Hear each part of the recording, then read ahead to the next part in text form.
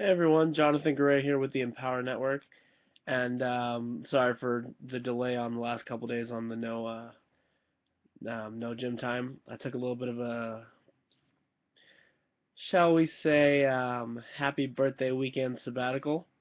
So I took a couple days off, did a little drinking, did a little fun stuff with my boys. So back in the gym tonight, but before I go, uh, I wanted to talk about Dwight Howard, and um, I don't know. I mean, I, I get that he has his back injuries and, you know, he's not quite the same Howard he was before, but dude needs a man up.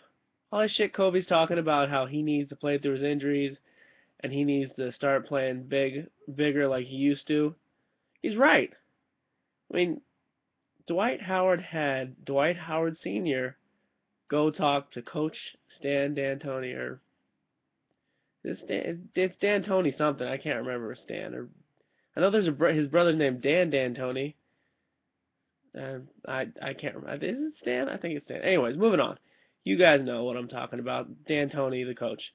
So Dwight Howard Sr. went and talked to D'Antoni to say that Kobe and the guys need to be nicer to his son.